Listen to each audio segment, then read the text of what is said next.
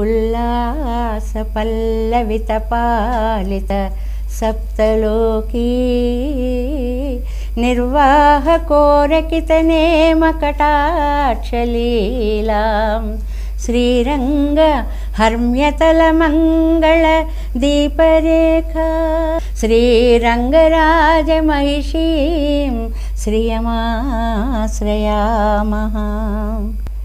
శ్రీ గుణరత్న కోశాన్ని మనం ప్రతిరోజు యథాశక్తి యథావకాశం అనుసంధానం చేసుకుంటున్నాం కదా.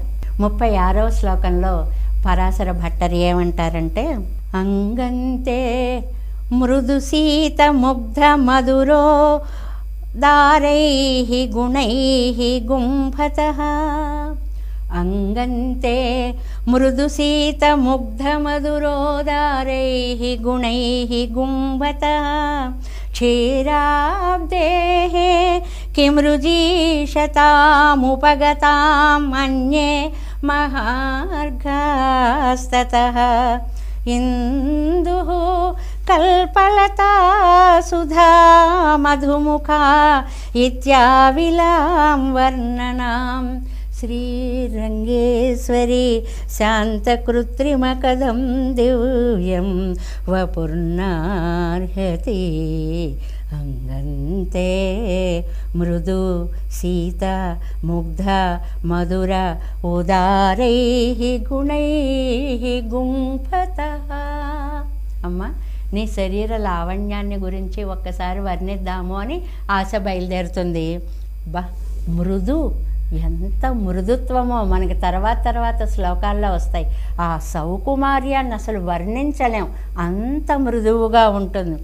శీతలత్వం చల్లదనం అంటే భక్త హృదయాల వరకు ప్రసరింపచేసేటువంటి అద్భుతమైన చల్లతనం. అది ముగ్ధ మౌగ్ధ్యం ఒక అమాయకత్వం. ఆ లేతదనంలో కనపడే సౌందర్యం.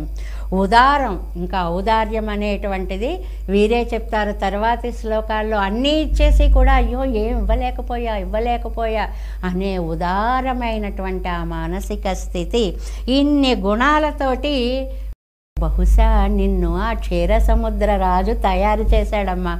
ఎలాగా? క్షీరాబ్దేహే కిం రుజీషతాం ఉపగతాం. ఈ గుణాలన్నీ సముద్రంలోంచి కొన్ని వస్తువులను తీసుకొని దాన్ని సారాన్ని తీసేసి ఇందులోంచి మార్దవాన్ని ఈవిడలో పోసేద్దాం. ఇందులోంచి శైత్యం చల్లదనాన్ని పిండేసి ఈవిడ రూపంలో కలిపేద్దామని సారమంతా తీసేసుకున్నట్ట. ఆయన ఎలాగండి? ఇందుహు ఎంత చక్కటి వర్ణనం అద్భుతమైన శ్లోకం అంటారు దీన్ని. ఇందుహు చంద్రుణ్ణి తీసుకున్నాడు. చంద్రుణ్ణి తీసుకునే మార్ధవ్యం ఉంటుంది శైత్యం చల్లగా ఉన్నట్టుగా ఉంటుంది శీతలత్వం ఉంటుంది. ఆ ఆ సారాన్ని తీసేసి అమ్మలోకి పోసేశాడు అనమాట కల్పలత ఏవి కోరితే అవి ఇచ్చేసేటువంటి గుణం కోసం కల్పలతని తీసుకున్నాడు. సుధా మధు మాధుర్యం కోసం. అటు అమృతాన్ని ఇటు మధువు కూడా వచ్చింది కదండి సముద్రంలోంచి పాల సముద్రంలోంచి. ఆ రెండు గుణాలని ఈవిడలో నింపేశాడు. ఇత్యావిలాం వర్ణనాం శ్రీరంగేశ్వరి. శ్రీరంగ ఈశ్వరి రంగనాథుని యొక్క వైభవానికి మూలకారకురాలైనటువంటి ఓ మహాలక్ష్మీదేవి అన్ని పదార్థాలలో అంత సారాన్ని తీసేస్తే ఇవాళ చూడండి మనం రుబీ డస్ట్ అంటూ ఉంటాము సారం అంతా పోయాక డస్టులు మిగులుతూ ఉంటాయని. అలాగే ఇంద్రుల్లోంచి కల్పలతలలోంచి మధువులోంచి అమృతంలోంచి అంత సారాన్ని తీసేస్తే రుజీషతాం. పిప్పి మాత్రం మిగిలిందిటండి. ఎంత అద్భుతమైన వర్ణనో చూడండి. పిప్పి మిగిలి ఉన్నటువంటి ఇంద్రుణ్ణి చూస్తేనే అబ్బా ఎంత అందగాడు అనుకుంటున్నాం. ఆ పిప్పిలా సారం అంతా పోయిన కల్పలతని వర్ణిస్తేనే ఎంత గొప్ప గుణం అనుకుంటున్నాం. వాటి సారంతో చేయబడిన నీ రూపం అంటే తల్లి మేము ఎంత వర్ణిస్తే సరిపోతుంది ఆవిలాం వర్ణనం. శాంత కృత్రిమ కథం దివ్యం వపు. నా అర్హతి అహ అసలు మా మాటలేం సరిపోతాయి మా వర్ణనలేం సరిపోతాయి. నీ యొక్క అత్యద్భుతమైనటువంటి శక్తి సామర్థ్యాలకి రూప సౌందర్యానికి గుణ ఔన్నత్యానికి అన్నిటికీ కూడా. అయినా సరే తల్లి అమ్మవి అమ్మ అంటే సంతానానికి ఉండే ప్రేమ చేత మా అమ్మ ఇంత గొప్పది అంత గొప్పదని పొగడమే కానీ ఈ మాటలు నీ స్వరూపాన్ని లోకానికి చూపించడానికి సరిపోయేటువంటివి కాదు. ఎందుకంటే అసలు నువ్వు మా కోసమే ఈ లోకంలోకి వచ్చావని తర్వాత ముప్పై ఏడవ శ్లోకంలో అంటారు. ప్రణమదను విధిచ్చావాసన నమ్రమగ్రే ప్రణయి పరిచిషీషా కుంచితం పార్శ్వకేన కనక నికష చెంచంపక స్రక్సమాన ప్రవరమిదముదారం వర్ష్మ వాచామ భూమి వర్ష్మ నీ దేహం ఉందే. అసలు వాచామ భూమి మా మాటలకు అందేదే కాదు. ప్రణమత్. ఎందరో వచ్చి నీకు ఇలా నమస్కరిస్తూ ఉంటారు. ఇంతకాలంకి నా దగ్గరకు వచ్చావురా తండ్రి అని వాడికి చేయూతనివ్వాలా అన్నట్లు నమ్రమగ్రే అలా కిందకి కాస్త వంగి ఉంటున్నావు. ఈయనున్నాడు పక్కన భర్త గారు నా మాట ఏం చేసావు అంటాడేమో అని ప్రణయి పరిచిచీషా కుంచితం పార్శ్వకేనా ఈ ప్రేమ తత్వానికి ఒక్కసారి తన మనస్సును తెలియజేయడం కోసం కుంచితం పార్శ్వకేన. ఆయన్ని అలా ఆనుకుని పక్కకి కూర్చున్నట్టే ఉండి ఇలా పిల్లల కోసం కిందకి వంగేటువంటివి. ఇటు మాతృత్వానికి అటు ఆ వాల్లభ్యానికి రెండిటికి కూడా సమానమైన ప్రాధాన్యాన్ని ఇచ్చేటువంటి తల్లిగా వర్ణిస్తూ కనక నికష చెంచత్ చంపక స్రక్ సమాన ప్రవరమిదముదారం వర్ష్మా.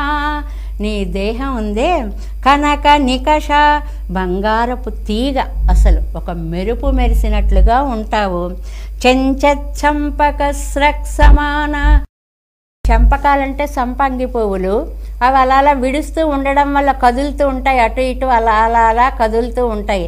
ఆ స్రక్ మాలతోటి సమానంగా నువ్వు ఉండేటువంటి అంటే వక్షస్థలంలోనే అమ్మ ఉంది ఆ వక్షస్థలంలోనే మాల ఉంది. అలాంటి నీ దివ్య రూపాన్ని వర్ణించడానికి నా వాక్కులు ఎక్కడ సరిపోతాయి తల్లి? అంటూ ధ్యాన శ్లోకాన్ని చెప్తారు. చాలా ముఖ్యమైనటువంటి శ్లోకం. అమ్మ లక్ష్మీదేవి యొక్క రూపాన్ని మనం తరచుగా చూస్తూ ఉంటాం. చిత్రాలలో వాటిల్లో. ఆ భంగిమను వర్ణిస్తున్నారు ఇందులో. ఏకం న్యంచన తిక్షమం మమ పరం చాకుంచ పాదంబుజం మధ్యే విస్తర పుండరీకమభయం విన్యస్య హస్తాంబుజం त्वां पश्येम निषेदुषीं प्रतिकलङ्कारुण्य कूलङ्कषस्फारापङ्गतरङ्गम् अम्ब मधुरं मुग्धं मुखं बिव्रती लेकन्यञ्च నతిక్షమం. ఈ పాదాలు రెండిటిలో కుడి పాదాన్ని నియంచ కొంచెం అలా ముందుకు చాపుతుంది. దండం పెట్టడానికి వస్తున్నావా? ఇంతదాకా రావక్కర్లేదు నాయన నా కాలే నీది వైపుగా పెడుతున్నాను. అంత ప్రేమతో పెట్టిందా అన్నట్లు కొంచెం అలా చాపుతుంది పరంచాకుంచ్య రెండో కాల్ని అలా పక్కకి పెట్టుకొని ఉంటుంది. అది కూడా పాద అంబుజం ఒక పద్మం రెండు పద్మాలే. పాదాలు పద్మాలు హస్తాలు పద్మాలు ముఖాలు పద్మాలు నేత్రాలు పద్మాలు. అలాంటి అందమైన భావాలను వర్ణించే అనేక శ్లోకాలు అనమాట దాన్ని రెండో పదాన్ని కొంచెం అలా పెట్టి త్వాం పశ్యేమ నిషేదుషీం అలా కూర్చున్నటువంటి ఆ భంగిమని చూసేవాడికి మా నేత్రాలు ఆనంద పులకాంకితం అవుతున్నాయి తల్లి. ప్రతి కలంకారుణ్య కూలంకష స్ఫారాపాంగ తరంగం ప్రతి కాలం ప్రతి క్షణం ఏ ఇందాక దాకా నిన్ను కటాక్షించాను ఇంకా నువ్వు తప్పుకో అని ఏదో టైం ఇవ్వదు మనకి అమ్మ. ప్రతి క్షణాన్ని మన మీద తన అమృత వృష్టిని అలా కురిపిస్తూనే మధురం ముగ్ధం ముఖం బిభ్రతి అత్యద్భుతమైనటువంటి చూడాలి చూడాలి అనిపించేటువంటి నీ దివ్యమైన స్ఫురద్రూపానికి తల్లి నేను మనసారా నమస్కరిస్తున్నాను అంటూ అత్యద్భుత ధ్యాన శ్లోకాన్ని మన ముందుంచారు పరాశర భట్టర్ వారు. స్వస్తి.